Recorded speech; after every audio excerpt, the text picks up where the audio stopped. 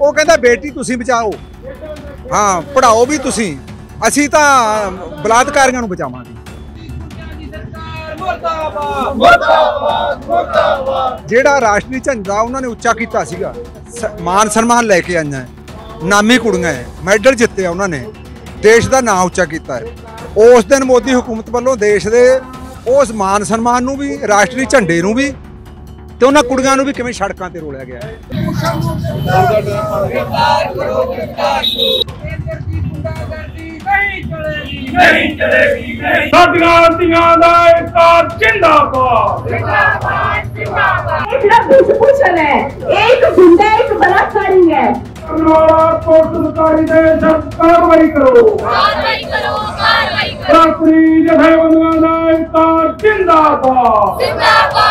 ਜਿੰਦਾਬਾਦ। ਜਿੰਦਾਬਾਦ। ਜਿੰਦਾਬਾਦ ਪ੍ਰਭੂ ਨੂੰ ਗਰਮਦਾਰ ਕਰੇ ਕਰਾਂਗੇ ਮੋਦੀ ਦੀ ਸੈਂਟਰ ਸਰਕਾਰ ਮੁਰਦਾਬਾਦ। ਮੁਰਦਾਬਾਦ ਮੁਰਦਾਬਾਦ।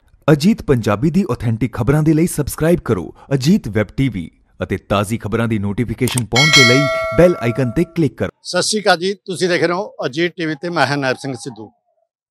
ਅੱਜ ਭਾਰਤੀ ਕਿਸਾਨ ਯੂਨੀਅਨ ਵੱਲੋਂ ਜਿਹੜਾ ਦਿੱਲੀ ਵਿਖੇ ਬੈਠੇ ਮਹਿਲਾ ਪਹਿਲਵਾਨਾਂ ਦੇ ਹੱਕ ਵਿੱਚ ਰੋਸ ਪ੍ਰਦਰਸ਼ਨ ਕੀਤੇ ਜਾ ਰਿਹਾ ਹੈ। ਤੁਹਾਨੂੰ ਦਿਖਾ ਦਈਏ ਕਿ ਇੱਧਰ ਜਿਹੜੇ ਕਿਸਾਨ ਹੈਗੇ, ਸਾਰੀਆਂ ਜਥੇਬੰਦੀਆਂ, ਸਮੂਹ ਜਥੇਬੰਦੀਆਂ ਹੈਗੇ ਕਿਉਂਕਿ ਸੰਯੁਕਤ ਕਿਸਾਨ ਮੋਰਚੇ ਵੱਲੋਂ ਇਹ ਜਿਹੜੀਆਂ ਜਥੇਬੰਦੀਆਂ ਪਹੁੰਚੀਆਂ ਹੈਗੀਆਂ ਇਹਨਾਂ ਵੱਲੋਂ ਮਹਿਲਾ ਪਹਿਲਵਾਨਾਂ ਦੇ ਹੱਕ ਵਿੱਚ ਪ੍ਰਦਰਸ਼ਨ ਕੀਤੇ ਜਾ ਰਹੇ ਹੈ, ਕਿਉਂਕਿ ਉਹ ਆਪਣੇ ਹੱਕ ਨੂੰ ਲੈ ਕੇ ਤਰ ਦਿੱਲੀ ਦੇ ਜੰਤਰ ਮੰਤਰ ਤੇ ਆਪਣੇ ਪ੍ਰਦਰਸ਼ਨ ਕਰ ਰਹੀਆਂ ਤੇ ਪਰ ਜਿਹੜੀ ਉੱਥੋਂ ਦੀ ਦਿੱਲੀ ਦੀ ਪੁਲਿਸ ਸੀ, ਉਸ ਵੱਲੋਂ ਮਹਿਲਾ ਪਹਿਲਵਾਨਾਂ ਨੂੰ ਧੱਕੇ ਨਾਲ ਉਠਾ ਦਿੱਤਾ ਗਿਆ ਹੈਗਾ ਤੇ ਉਹਨਾਂ ਤੇ ਜ਼ਬਰਦਸਤੀ ਵੀ ਕੀਤੀ ਗਈ ਹੈ। ਇਸ ਨੂੰ ਲੈ ਕੇ ਸਾਡੇ ਨਾਲ ਕਿਸਾਨ ਆਗੂ ਜੁੜਿਆ ਗਿਆ ਆਪਾਂ ਗੱਲ ਕਰਦੇ ਹਾਂ ਪਹਿਲਾਂ। ਸਤਿ ਸ਼੍ਰੀ ਅਕਾਲ ਵੀਰ ਜੀ। ਸਤਿ ਸ਼੍ਰੀ ਅਕਾਲ ਜੀ। ਵੀਰ ਜੀ ਕੀ ਕਹਿਣਾ ਚਾਹੋਗੇ? ਜਿਹੜਾ ਤੁਸੀਂ ਅੱਜ ਧਰਨਾ ਪ੍ਰਦਰਸ਼ਨ ਕਰ ਰਹੇ ਹੋ ਕੀ ਕਾਰਨ ਹੈ? ਜਿਹੜਾ ਸਾਡਾ ਅੱਜ ਪ੍ਰਦਰਸ਼ਨ ਫੂਕ ਮੋਦੀ ਸਰਕਾਰ ਦਾ ਇਹ ਜਿਹੜੇ ਸਾਡੀਆਂ ਮਹਿਲਾ ਕੁਸ਼ਤੀ ਲੜਕੀਆਂ ਨੇ ਉਹਨਾਂ ਦਾ ਸ਼ੋਸ਼ਣ ਹੋਇਆ ਹੈ। ਸ਼ੋਸ਼ਣ ਕਿਹਨੇ ਕੀਤਾ ਹੈ? ਕੁਸ਼ਤੀ ਫੈਡਰੇਸ਼ਨ ਦੇ ਪ੍ਰਧਾਨ ਨੇ ਬਿਰਜ ਭੂਸ਼ਣ ਐਮਪੀ ਨੇ ਉਹ ਭਾਜਪਾ ਸਰਕਾਰ ਦੇ ਨੇ। ਉਸ ਦੇ ਖਿਲਾਫ ਸਾਡਾ ਇਹ ਰੋਸ ਪ੍ਰਦਰਸ਼ਨ ਹੈ, ਕਿਉਂਕਿ ਜਿਹੜੀਆਂ ਲੜਕੀਆਂ ਨੇ ਕੁਸ਼ਤੀਆਂ ਦੇ ਵਿੱਚ ਦੇਸ਼ ਦਾ ਨਾਮ ਰੌਸ਼ਨ ਕੀਤਾ ਹੈ, ਉਹਨਾਂ ਨੂੰ ਇਹ ਮਤਲਬ ਬਿਰਜ ਭੂਸ਼ਣ ਸ਼ਰਨ ਸਿੰਘ ਇਹ ਜਲੀਲ ਕਰ ਰਿਹਾ ਹੈ, ਔਰ ਸ਼ੋਸ਼ਣ ਕੀਤਾ ਉਹਦੇ ਦੇ ਖਿਲਾਫ ਉਹ ਲੜਕੀਆਂ, ਉਹ ਖਿਡਾਰੀ ਜਿਨ੍ਹਾਂ ਨੇ ਸੁਪਰੀਮ ਕੋਰਟ 'ਚ ਜਾਣਾ ਪਿਆ, ਉਹ ਤੇ ਐਫ ਆਈ ਆਰ ਦਰਜ ਵੀ ਕਰਵਾਈ ਗਈ ਹੈ, ਪਰ ਹਜੇ ਤੱਕ ਉਸ ਨੂੰ ਗ੍ਰਿਫਤਾਰ ਨਹੀਂ ਕੀਤਾ। ਗ੍ਰਿਫਤਾਰ ਕਰਕੇ ਉਸ ਤੇ ਪੁ- ਤੋਂ ਪੁੱਛਗਿੱਛ ਨਹੀਂ ਕੀਤੀ ਗਈ, ਉਹਨੂੰ ਅੰਦਰ ਨਹੀਂ ਕੀਤਾ, ਜਿਸ ਕਰਕੇ ਮੋਦੀ ਸਰਕਾਰ ਉਸ ਬਲਾਤਕਾਰੀ ਬੰਦੇ ਦਾ ਘਟ ਗਿਆ ਬੰਦੇ ਦਾ ਮਤਲਬ ਸਪੋਰਟ ਕਰ ਰਿਹਾ ਜਿਹੜਾ ਕਿ ਬਹੁਤ ਆਮ ਦੇਸ਼ ਦੇ ਲੋਕਾਂ ਦੇ ਹਿੱਤ ਦੇ ਵਿੱਚ ਨਹੀਂ ਹੋ ਕਿਉਂਕਿ ਅਸੀਂ ਜਿਹੜੀਆਂ ਲੜਕੀਆਂ ਨੂੰ ਕੁਸ਼ਤੀ ਦੀਆਂ ਤੇ ਜਾਂ ਖਿਡਾਰੀ ਨੇ ਕੁਸ਼ਤੀ ਦੇ ਨੇ ਉਹ ਆਮ ਪਿੰਡਾਂ ਦੇ ਵਿੱਚੋਂ ਗਈਆਂ ਨੇ। ਪਿੰਡਾਂ ਦੇ ਵਿੱਚ ਜਾ ਕੇ ਉਹ ਨਾਮ ਦੇਸ਼ ਦਾ ਨਾਮ ਰੋਸ਼ਨ ਕੀਤਾ ਹੈ, ਜਿਸ ਕਰਕੇ ਅਸੀਂ ਸਾਰੇ ਦੇਸ਼ ਵਾਸੀ ਜਿੰਨੇ ਵੀ ਹਮਦਰਦਾਂ ਸਾਰੇ ਅਸੀਂ ਉਹ ਲੜਕੀ ਦੇ ਉਸ ਖਿਡਾਰੀਆਂ ਦੇ ਨਾਲ ਹੈ ਤੇ ਮੋਦੀ ਸਰਕਾਰ ਦੇ ਖਿਲਾਫ ਆ ਅਸੀਂ ਮੰਗ ਕਰਦੇ ਹਾਂ ਵੀ ਮੋਦੀ ਸਰਕਾਰ ਤੁਰੰਤ ਉਹਨੂੰ ਬਰਖਾਸਤ ਕਰੇ, ਪਾਰਟੀ ਚੋਂ ਕੱਢੇ, ਫੜ ਕੇ ਅੰਦਰ ਕਰੇ ਤਾਂ ਜੋ ਲੜਕੇ ਨੂੰ ਇਨਸਾਫ ਦੇਵੇ। ਦੂਸਰਾ ਬ੍ਰਜਭੂਸ਼ਣ ਨੇ, ਜਿਹੜਾ ਕਿ ਇੱਕ ਤਾਂ ਦੋਸ਼ੀ ਆ, ਉੱਪਰੋਂ ਉਹ ਉਸ ਲੜਕੀਆਂ ਨੂੰ, ਉਸ ਖਿਡਾਰੀਆਂ ਨੂੰ ਗਲਤ ਅਪਸ਼ਬਦ ਬੋਲਦਾ ਕੀ ਬੋਲਦਾ ਕਹਿੰਦਾ ਇਹ ਲੜਕੇ ਨੇ ਰੋਸ ਵਜੋਂ ਕਿਹਾ ਵੀ ਅਸੀਂ ਮੈਡਲ ਵਾਪਸ ਕਰਾਂਗੇ। ਤਾਂ ਉਹਨੇ ਕਿਹਾ, ਕਹਿੰਦਾ 15 15 ਰੁਪਏ ਦਾ ਮੈਡਲ ਹੈ ਐਡਾ ਬੇਕੂਫ ਇਹਨਾਂ ਨੇ ਪ੍ਰਧਾਨ ਬਣਾਇਆ ਕੁਸ਼ਤੀ ਦਾ ਵੀ 15 15 ਰੁਪਏ ਦੇ ਮੈਡਲ ਹੁੰਦੇ ਨੇ। ਉਹ ਦੇਸ਼ ਦੇ ਮੈਡਲ ਨੇ ਉਹ 15 ਰੁਪਏ ਦੀ ਨਹੀਂ ਉਹ ਗੱਲ। ਦੇਸ਼ ਦੇ ਮੈਡਲ ਨੇ, ਜਦੋਂ ਉਹ ਜਿੱਤ ਕੇ ਆਈਆਂ ਸੀ, ਉਦੋਂ ਮੈਡਲ ਨਹੀਂ ਚੁੰਮੇ ਸੀ, ਉਹ ਰਾਸ਼ਟਰੀ ਝੰਡਾ ਝੁਲਿਆ ਸੀ, ਦੇਸ਼ ਦਾ, ਹਿੰਦੁਸਤਾਨ ਦਾ। ਉਹ ਰਾਸ਼ਟਰੀ ਝੰਡੇ ਦੇ ਉੱਤੇ ਸਨਮਾਨਿਤ ਕੀਤਾ ਜਾਂਦਾ ਹੈ। ਇਸ ਕਰਕੇ ਐਡੇ ਬੇਵਕੂਫ ਨੂੰ ਤਾਂ ਤੁਰੰਤ ਕੱਢਣਾ ਚਾਹੀਦਾ ਹੈ। ਇਸ ਰੱਖ ਕੇ ਮੋਦੀ ਸਰਕਾਰ ਜਿੱਥੇ ਦੇਸ਼ ਨੂੰ ਆਪਦੇ ਵਿਰੋਧ 'ਚ ਕਰ ਰਹੀ ਹੈ ਉੱਥੇ ਇੱਕ ਬਲਾਤਕਾਰ ਦਾ ਪੱਖ ਪੂਰਨ ਤੇ ਪਾਰਟੀ ਦਾ ਵੀ ਅਕਸ ਵਿਗੜਦਾ, ਦੇਸ਼ ਦਾ ਅਕਸ ਵਿਗੜਦਾ। ਮੋਦੀ ਸਰਕਾਰ ਨੇ ਦੇਸ਼ ਦਾ ਅਕਸ- ਅਕਸ ਵੀ ਵਿਗਾੜ ਰਿਹਾ। ਜਿਸ ਕਰਕੇ ਅਸੀਂ ਅੱਜ ਮੰਗ ਪੱਤਰ ਵੀ ਦੇਣਾ, ਰਾਸ਼ਟਰਪਤੀ ਨੂੰ ਭੇਜਣਾ ਵੀ ਇਹਦੀ ਕਾਰਵਾਈ ਕਰੋ, ਤਾਂ ਜੋ ਦੇਸ਼ ਦੇ ਹਿੱਤ ਜਾਵੇ। ਦੇਸ਼ ਦੇ ਲੋਕ ਮਤਲਬ ਵੀ ਸੋਚ ਰਹੇ ਆ ਵੀ ਇਹ ਗਲਤ ਪਾਸੇ ਕਿਉਂ ਜਾ ਰਹੀ ਹੈ ਬੀਜੇਪੀ ਸਰਕਾਰ? ਇੱਕ ਪਾਸੇ ਬ੍ਰਜਭੂਸ਼ਣ ਨੇ ਇਹ ਵੀ ਕਿਹਾ ਗਿਆ ਵੀ ਜਿਹੜੇ ਲੱਖਾਂ ਰੁਪਏ ਇਹਨਾਂ ਨੂੰ ਸਨਮਾਨ ਵਜੋਂ ਦਿੱਤੇ ਗਿਆ ਉਹ ਵੀ ਵਾਪਸ ਕਰਨ। ਜਦੋਂ ਲੋਕ ਵੋਟਾਂ ਪਾਉਂਦੇ ਆ, ਤੇ ਜੇ ਉਹ ਵਿਰੋਧ ਕਰਦੇ ਤਾਂ ਉਹਨਾਂ ਦੀਆਂ ਵੋਟਾਂ ਵਾਪਸ ਕਰਦੇ ਹੈਗੇ ਉਹ। ਨਹੀਂ ਆਈ ਤਾਂ ਹੋਣਾ ਜੀ। ਜਿੰਨਾ ਸ਼ਬਦ ਬੋਲਦਾ, ਬੇਕਾਰ, ਬੇਤੁਕੇ ਬਿਆਨ ਦਿੰਦਾ ਮੈਟਲ ਬੰਦਾ ਇਹਨਾਂ ਨੇ ਪ੍ਰਧਾਨ ਰੱਖਿਆ ਜੇ ਮੈਟਲ ਬੰਦਾ ਸੀ, ਗਲਤ ਬੰਦਾ ਸੀ, ਤਾਂ ਅੱਜ ਆ ਬੀਜੇਪੀ ਸਰਕਾਰ ਦਾ ਵਿਰੋਧ ਹੋਇਆ। ਉਸ ਕਰਕੇ ਹੋ ਰਿਹਾ ਇਹ। ਜੇ ਬਿਰਜ ਭੂਸ਼ਣ ਕਰਕੇ ਹੋ ਰਿਹਾ ਵੀ ਇਹ ਗਲਤ ਬਿਆਨਬਾਜ਼ੀ, ਗਲਤ ਸੋਚ, ਘਟੀਆ ਸੋਚ ਰੱਖਦਾ ਲੜਕੀਆਂ ਦੇ ਵਿੱਚ। ਇਸ ਕਰਕੇ ਦੂਸਰਾ ਉਹਲੇ ਤਾਂ ਜਿਹੜਾ ਕਰਨਾ ਸੀ, ਦਿੱਲੀ ਦੇ ਪੁਲਿਸ ਨੇ ਹੋਰ ਕੀਤਾ। ਜਦੋਂ ਸ਼ਾਂਤਮਈ, ਇਹਨਾਂ ਨੇ ਜਦੋਂ ਸਰਕਾਰ ਨੂੰ ਮਿਲਿਆ 23 ਜਨਵਰੀ ਦੇ ਮਹੀਨੇ 2023 ਦੇ ਵਿੱਚ ਤਾਂ ਇਹਨਾਂ ਨੂੰ ਭਰੋਸਾ ਦਿੱਤਾ ਸੀ ਵੀ ਕਾਰਵਾਈ ਕਰਾਂਗੇ। ਇਹਨਾਂ ਨੇ ਜਾ ਕੇ 23 ਅਪ੍ਰੈਲ ਨੂੰ ਇਹਨਾਂ ਨੂੰ ਧਰਨਾ ਲਾਉਣਾ ਪਿਆ ਖਿਡਾਰੀਆਂ ਨੂੰ। ਫਿਰ ਜਦੋਂ ਹੁਣ ਸ਼ਾਂਤਮਈ 28 ਮਈ ਨੂੰ ਇਹ ਮਤਲਬ ਜ਼ਿਆਦਾ ਕੈਂਡਲ ਮਾਰਚ ਜੋ ਕਰ ਰਹੀ ਸੀ, ਪ੍ਰੋਗਰਾਮ ਕਰ ਰਹੀ ਸਦਨ ਦਾ ਘਰਾਓ ਕਰ ਰਹੀ ਸੀ, ਨਵੀਂ ਦਾ, ਤਾਂ ਪੁਲਿਸ ਵਾਲਿਆਂ ਨੇ ਇਹਨਾਂ ਨੂੰ ਕੁੱਟਮਾਰ ਕੀਤੀ, ਜਲੀਲ ਕੀਤਾ। ਜਲੀਲ ਕਰਕੇ ਇਹਨਾਂ ਦੇ ਤੰਬੂ ਪੱਟਤੇ। ਪ੍ਰਦਰਸ਼ਨ ਕਰਨ ਤੋਂ ਵੀ ਰੋਕਦਾ ਵੀ ਮਤਲਬ ਇੰਨਾ ਧੱਕੇਸ਼ਾਹੀ ਤਾਂ ਕਿਸੇ ਵੀ ਬੱਲੂ ਵਾਲਾ ਦੇ ਰਾਜ 'ਚ ਨਹੀਂ ਆਈ ਹੋਣੀ, ਪੁਰਾਣੇ ਇਤਿਹਾਸ ਚੱਕ ਲਓ। ਅੰਗਰੇਜ਼ਾਂ ਰਾਜ 'ਚ ਵੀ ਨਹੀਂ ਆਈ ਹੋਣੀ। ਸਾਡੇ ਨਾਲ ਕਿਸਾਨ ਆਗੂ ਹੋਰ ਵੀ ਜੁੜੇ ਗਏ ਸਤਿ ਸ਼੍ਰੀ ਅਕਾਲ ਵੀਰ ਜੀ। ਸਤਿ ਸ਼੍ਰੀ ਅਕਾਲ ਜੀ। ਵੀਰ ਜੀ ਕੀ ਨਾਮ ਹੈ ਤੁਹਾਡਾ? ਮੈਂ ਬਲਕਰਨ ਸਿੰਘ ਬਰਾੜ ਸੂਬਾ ਪ੍ਰਧਾਨ ਕੁੱਲ ਹਿੰਦ ਕਿਸਾਨ ਸਭਾ ਪੰਜਾਬ। ਕੀ ਕਹਿਣਾ ਚਾਹੋਗੇ? ਜਿਹੜਾ ਅੱਜ ਪੁਤਲਾ ਫੂਕ ਰਹੇ ਹੋ ਤੁਸੀਂ ਕੇਂਦਰ ਸਰਕਾਰ ਦਾ ਕੀ ਕਾਰਨ ਹੈ ਅੱਜ ਦਾ ਜਿਹੜਾ ਪ੍ਰੋਗਰਾਮ ਹੈ ਸੰਯੁਕਤ ਕਿਸਾਨ ਮੋਰਚੇ ਵੱਲੋਂ ਜੋ ਮਹਿਲਾ ਰੈਸਲਰ ਦੇ ਨਾਲ ਲਗਾਤਾਰ ਹਰਾਸਮੈਂਟ ਉਹਨਾਂ ਦੇ ਕੁਸ਼ਤੀ ਫੈਡਰੇਸ਼ਨ ਦੇ ਜਿਹੜੇ ਪ੍ਰਧਾਨ ਸੀ ਉਹਨਾਂ ਵੱਲੋਂ ਬ੍ਰਿਜ ਭੂਸ਼ਣ ਵੱਲੋਂ ਕੀਤੀ ਜਾਂਦੀ ਰਹੀ। ਉਸ ਦੇ ਸਬੰਧ ਦੇ ਵਿੱਚ ਦਿੱਲੀ ਇੱਕ ਜੰਤਰ ਮੰਤਰ ਤੇ ਜੋ ਧਰਨਾ ਲਾਇਆ ਹੋਇਆ ਸੀ ਤਾਂ ਉਸ ਧਰਨੇ ਨੂੰ ਕੇਂਦਰ ਸਰਕਾਰ ਦੀ ਸ਼ਹਿ ਤੇ ਪੁਲਿਸ ਨੇ ਬੜੀ ਤਸ਼ੱਦਦ ਢਾ ਕੇ ਉਹਨਾਂ ਦਾ ਧਰਨਾ ਉੱਥੋਂ ਤੰਬੂ ਖਾੜ ਦਿੱਤੇ, ਪੱਟ ਦਿੱਤੇ ਤੇ ਉਹਨਾਂ ਨੂੰ ਨਿਆਂ ਦੇਣ ਦੀ ਬਜਾਏ ਉਹਨਾਂ ਨੂੰ ਜਲੀਲ ਕੀਤਾ ਗਿਆ। ਇੱਕ ਪਾਸੇ ਜਿੱਥੇ ਉਹ ਮਹਿਲਾ ਖਿਡਾਰਨਾ ਦੇਸ਼ ਦਾ ਉਹਨਾਂ ਨੇ ਨਾਂ ਉੱਚਾ ਕੀਤਾ ਹੈ, ਦੂਜੇ ਪਾਸੇ ਅੱਜ ਕੇਂਦਰ ਸਰਕਾਰ ਬੀਜੇਪੀ ਤੇ ਉਸ ਦੇ ਆਰਐਸਐਸ ਦੇ ਏਜੰਡੇ ਤੇ ਚੱਲ ਕੇ ਬੜੀ ਮਤਲਬ ਕਿ ਬੇਸ਼ਰਮੀ ਦੇ ਨਾਲ ਇਹਨਾਂ ਨੂੰ ਰੋਲ ਰਹੀ ਹੈ। ਤੇ ਉਸ ਨੂੰ ਉਹਨਾਂ ਨੂੰ ਨਿਆਂ ਦੇਣ ਦੀ ਬਜਾਏ ਜਿਹੜੀ ਕਿ ਸੁਪਰੀਮ ਕੋਰਟ ਦੇ ਕਹਿਣ ਤੇ ਐਫ ਆਈ ਆਰ ਦਰਜ ਹੋਈ ਸੀ, ਉਹ ਐਫ ਆਈ ਆਰ ਤਾਂ ਸੁਪਰੀਮ ਕੋਰਟ ਦੇ ਕਹਿਣ ਤੇ ਹੋ ਗਈ, ਪਰ ਉਸ ਤੋਂ ਅੱਗੇ ਕੋਈ ਕਾਰਵਾਈ ਨਹੀਂ ਹੋਈਗੀ।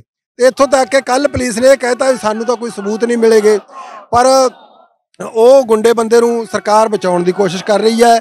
ਉਹ ਆਪਣੇ ਆਰਐਸਐਸ ਦੇ ਏਜੰਡੇ ਤੇ ਸਰਕਾਰ ਚੱਲ ਕੇ ਔਰਤਾਂ ਦੇ ਹੱਕਾਂ ਨੂੰ, ਹਕੂਕਾਂ ਨੂੰ, ਜਿਹੜੇ ਉਹਨਾਂ ਸੰਵਿਧਾਨ ਤੱਕ ਬਣੇ ਹੋਏ ਆ, ਉਹਨਾਂ ਨੂੰ ਖਤਮ ਕਰ ਰਹੀ ਹੈ। ਤੇ ਅਸੀਂ ਇਸ ਦਾ ਵਿਰੋਧ ਕਰਦੇ ਹਾਂ। ਅੱਜ ਅਸੀਂ ਕੇਂਦਰ ਸਰਕਾਰ ਦਾ ਪੁਤਲਾ ਫੂਕ ਰਹੇ ਹਾਂ ਇੱਥੇ ਤੇ 5 ਤਰੀਕ ਨੂੰ ਆਉਣ ਵਾਲੀ ਨੂੰ ਪਿੰਡ ਪਿੰਡ ਦੇ ਵਿੱਚ ਬ੍ਰਿਜ ਭੂਸ਼ਣ ਜਦੋਂ ਇੱਕ ਸਾਧੂ ਮਹੰਤਾਂ ਦਾ ਕੱਟ ਕਰ ਰਿਹਾ ਤਾਂ ਅਸੀਂ ਉਸ ਦੇ ਵਿਰੋਧ ਦੇ ਵਿੱਚ ਪਿੰਡ ਪਿੰਡ ਪੁਤਲੇ ਫੇਰ ਅਸੀਂ ਬ੍ਰਿਜ ਭੂਸ਼ਣ ਦੇ ਫੂਕਾਂਗੇ ਇੱਕ ਪਾਸੇ ਤਾਂ ਕੇਂਦਰ ਸਰਕਾਰ ਵੱਲੋਂ ਉਸ ਇੰਨੇ ਇਲਜ਼ਾਮ ਲੱਗਿਆ ਤੇ ਉਹਨੂੰ ਬਰਖਾਸਤ ਨਹੀਂ ਕੀਤਾ ਜਾ ਰਿਹਾ। ਤੇ ਦੂਸਰੇ ਪਾਸੇ ਇੱਕ ਨਾਰਾ ਦਿੱਤਾ ਸੀਗਾ ਬੇਟੀ ਬਚਾਓ ਬੇਟੀ ਪੜਾਓ ਇਹ ਕਿਸ ਤਰ੍ਹਾਂ ਦਾ ਮੇਲ ਖਾਂਦਾ?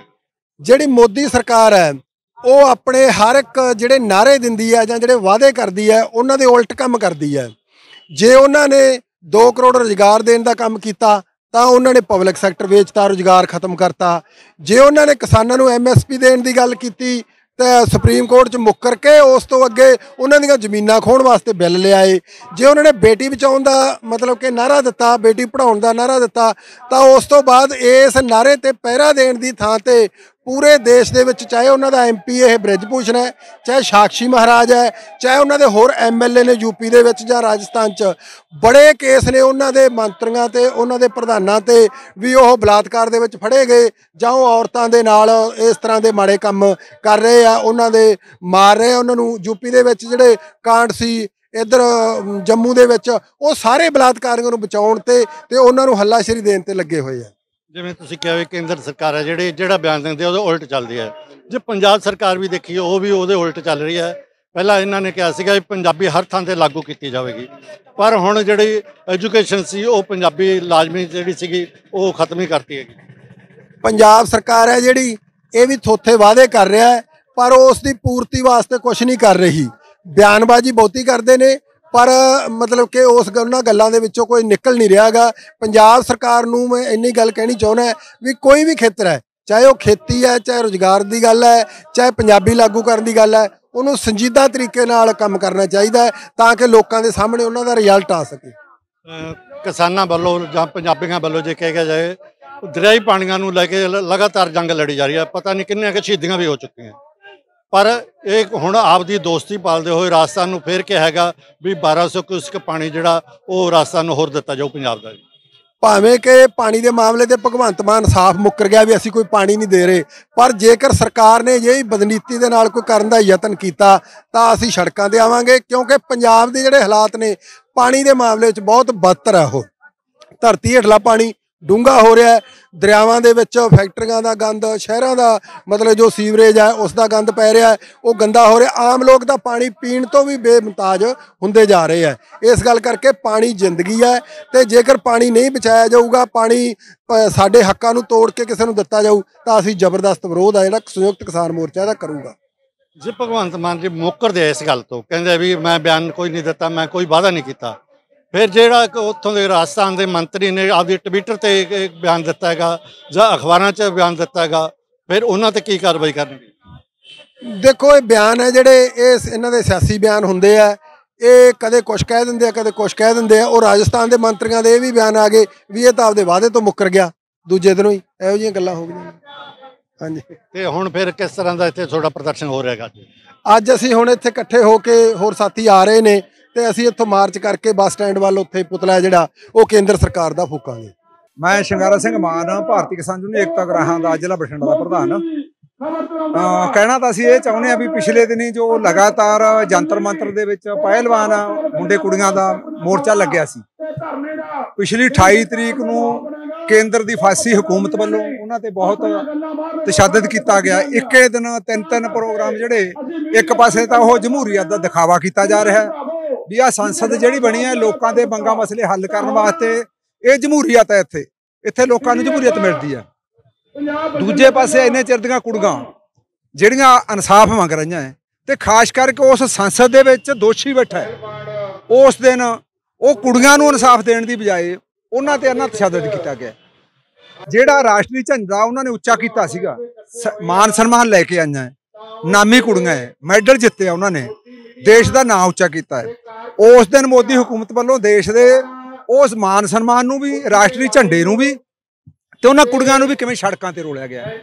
ਤੇ ਨਾਲ ਉਹਨਾਂ ਦਾ ਮੋਰਚਾ ਪੱਟਾ ਅੱਜ ਅਸੀਂ ਉਹਦੇ ਵਿਰੋਧ ਵਜੋਂ ਐਸਕੇਐਮ ਦੇ ਸੱਦੇ ਤੇ ਸਾਰੇ ਮੁਲਕ ਦੇ ਵਿੱਚ ਜ਼ਿਲ੍ਹਾ ਪੱਧਰਾਂ ਤੇ ਵੱਡੇ ਇਕੱਠ ਕਰਕੇ ਮੰਗ ਪੱਤਰ ਦਿੱਤੇ ਜਾ ਰਹੇ ਹੈ। ਜਿਹਦੇ ਵਿੱਚ ਸਾਡੀ ਮੰਗ ਹੈ ਵੀ ਉਹਨਾਂ ਨੂੰ ਜਿਹੜਾ ਲੜਨ ਦਾ ਜਮਹੂਰੀ ਹੱਕ ਹੈ, ਉਹ ਧਰਨਾ ਲਾਉਣ ਦਾ ਜਿਹੜਾ ਉਹਨਾਂ ਦਾ ਹੱਕ ਹੈ ਬਹਾਲ ਕੀਤਾ ਜਾਵੇ। ਜੋ ਉਹਨਾਂ ਦਾ ਸਮਾਨ ਚੱਕਿਆ ਉਹ ਵਾਪਸ ਕੀਤਾ ਜਾਵੇ ਤੇ ਬਿਰਜਭੂਸ਼ਣ ਭੂਸ਼ਣ ਸਿੰਘ ਹੈ ਜਿਹੜਾ, ਉਹਨੂੰ ਤੁਰੰਤ ਫੜ ਕੇ ਸਿੱਖਾਂ ਪਿੱਛੇ ਦਿੱਤਾ ਜਾਵੇ। ਇਸ ਕਰਕੇ ਕੁੜੀਆਂ ਨੂੰ ਜਿੰਨਾ ਚਿਰ ਇਨਸਾਫ ਨਹੀਂ ਮਿਲਦਾ, ਅਸੀਂ ਲੜਦੇ ਰਵਾਂਗੇ। ਇਹ ਇਹਨਾਂ ਮੰਗਾਂ ਨੂੰ ਲੈ ਕੇ ਅੱਜ ਅਸੀਂ ਆਏ ਹਾਂ ਵੀ ਉਹ ਕੁੜੀਆਂ ਨੂੰ ਇਨਸਾਫ ਮਿਲਣਾ ਚਾਹੀਦਾ ਹੈ।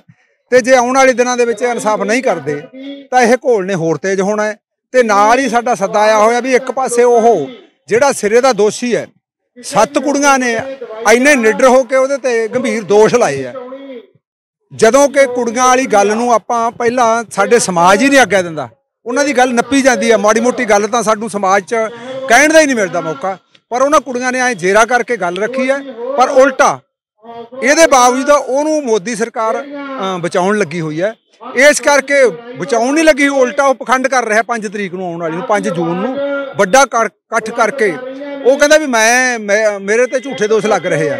ਇਸ ਕਰਕੇ ਉਹਦੇ ਵਿਰੋਧ ਵੀ 5 ਤਰੀਕ ਨੂੰ ਅਸੀਂ ਸਾਰੇ ਕਸਬਿਆਂ ਦੇ ਵਿੱਚ ਜਾ ਕੇ ਵੱਡੇ ਇਕੱਠ ਕਰਕੇ ਇਹ ਸਾਰੀ ਹਕੂਮਤ ਦੀ ਅਰਥੀ ਨੂੰ ਲਾਂਬੂ ਲਾਵਾਂਗੇ ਬਿਰਜ ਭੂਸ਼ਣ ਸਰ ਸਿੰਘ ਦੀਆਂ ਅਰਥੀਆਂ ਸਾੜਾਂਗੇ ਤੇ ਉਹਨਾਂ ਲੜਕਿਆਂ ਨੂੰ ਇਨਸਾਫ ਜਿੰਨਾ ਚਿਰ ਮਿਲਦਾ ਨਹੀਂ ਲੜਦੇ ਰਹਾਂਗੇ ਮੈਦਾਨ ਦੇ ਵਿੱਚ।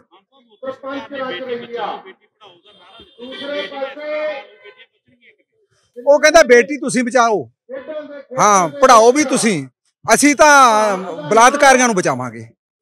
ਉਹਦਾ ਇਹ ਹੈ ਗੱਲ।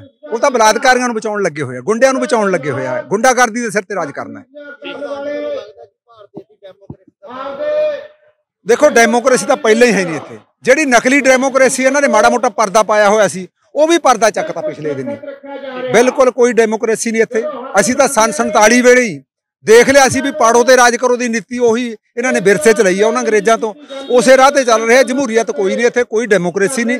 ਡੈਮੋਕ੍ਰੇਸੀ ਦਾ ਹੁਣ ਪਿਛਲੇ ਦਿਨਾਂ ਸਗਾ ਘਾਣ ਹੋ ਗਿਆ। ਜਿਹੜੀ ਕੇਂਦਰ ਸਰਕਾਰ ਹੈਗੀ ਆ, ਉਹਦੇ ਬਿਆਨ ਕੁਝ ਹੋਰ ਦਿੰਦੀ ਹੈ ਤੇ ਕਰਦੀ ਕੁਝ ਹੋਰ ਹੈਗੀ ਇੱਕ ਪਾਸੇ ਤਾਂ ਕਹਿੰਦੀ ਹੈ ਬੇਟੀ ਬਚਾਓ ਬੇਟੀ ਪੜਾਓ ਤੇ ਦੂਸਰੇ ਪਾਸੇ ਇਸ ਤਰ੍ਹਾਂ ਦੀਆਂ ਇਹਨਾਂ ਦੇ ਮੰਤਰੀ ਕਾਨੂੰਨੀਆਂ ਹਰਕਤਾਂ ਕਰ ਰਿਹਾ ਅਤੇ ਪੰਜਾਬ ਸਰਕਾਰ ਤੇ ਵੀ ਵਰਜਾ ਉਹਨਾਂ ਕਿਹਾ ਕਿ ਇਹ ਬਿਆਨ ਕੁਝ ਹੋਰ ਦਿੰਦੇ ਹੈਗੇ। ਇੱਕ ਪਾਸੇ ਤਾਂ ਕਹਿੰਦੇ ਸੀਗੇ ਵੀ ਪੰਜਾਬੀ ਲਾਗੂ ਕਰਾਂਗੇ ਤੇ ਦੂਸਰੇ ਪਾਸੇ ਜਿਹੜੀ ਐਜੂਕੇਸ਼ਨ 'ਚ ਪੰਜਾਬੀ ਲਾਜ਼ਮੀ ਸੀਗੀ, ਉਹਨੂੰ ਵੀ ਖਤਮ ਕਰ ਰਹੇ ਹੈਗੇ।